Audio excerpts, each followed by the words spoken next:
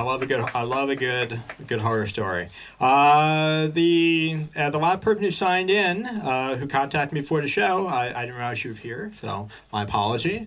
Uh, so uh, I, I unfortunately didn't get a chance to talk to you, so I know nothing about you. A mystery woman.